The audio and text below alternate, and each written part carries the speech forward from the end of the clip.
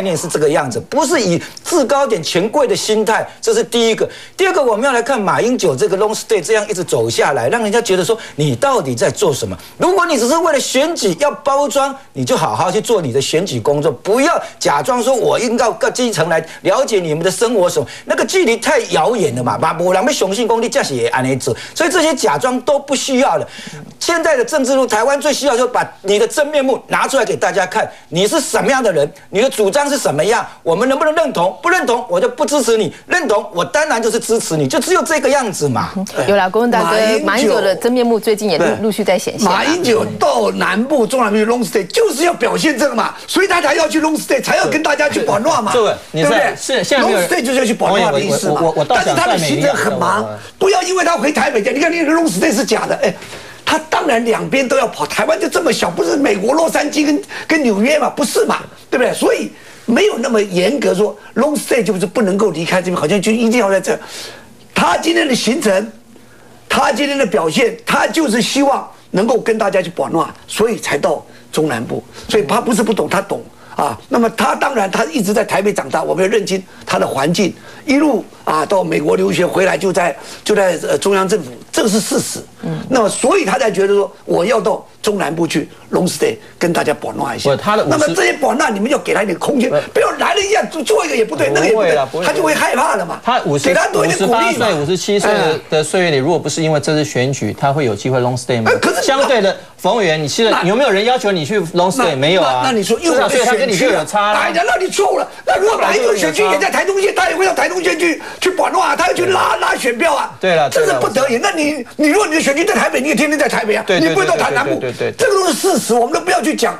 对，你今天你的选区在哪？除了选区之外，他的生命体验从来没有中南部的经验嘛。你错了，他今天要选中华民国总统。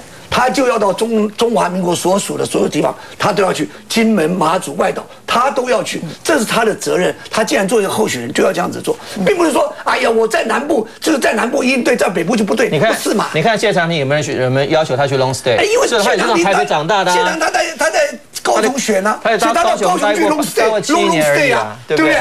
他是停留在高雄做做做市长啊，对这个好，所以这个就是马英九这个 long stay 会现在引发大家这样这么多的一个争议，不管是揶揄还是嘲笑，还是这个不满还是支持。其实呢，这个或许一开始我们在节目就讲过，long stay 的名称或许真的是取错了。如果呢不是用 long stay 来形容他的下乡常住计划的话，或许大家不这么苛刻来看到说为什么常常要跑回台北，为什么要怎么样。但是真正 long stay 这一趟的行程呢，显然呢之前也报道过，跟立委的行程蛮有关系的，所以跑跑跑一天跑一二十个行程呢。所以国文大哥，呃。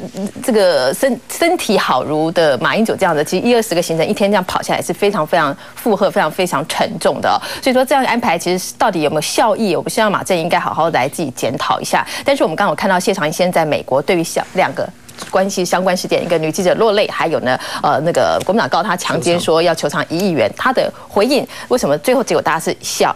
呃记者们全部一笑，一笑之后呢？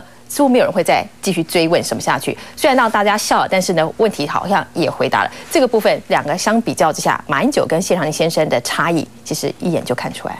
像碰到这种问题哦，我们如果再去问马英九，马英九永远是那几句话：谢谢指教啦，不然就是他不知道啦，然后不然就要去问谁，他没有办法立即反应。这就是显示说，谢长廷在某种程度上，他的机智啊，能够让很多人有认同感，就是他的反应很非常的快速，他不需要用严肃的态度去面对严肃的问题，他可以三两拨千斤，轻轻的就拨去了，让听的人知道他的意思了。我们举这个例子，他讲这句。话说，让女人流眼泪的男人都是不好的。这句话作为一个男人，我非常的苟同，非常的认同。为什么呢？你怎么做，你总不应该让女人哭嘛。尤其是马英九这么多对女性的票源这么强大，他都等于是对女性有一种某种程度的魔咒。如果说谢长廷直接来面对他谈这件事情的话，人家又讲说，你看看，难怪以前人家讲说三立很听你谢长廷，那他不又陷进这个陷阱里面去了？所以他用这种来拨拨开这个问题，让人家觉得说他的答复。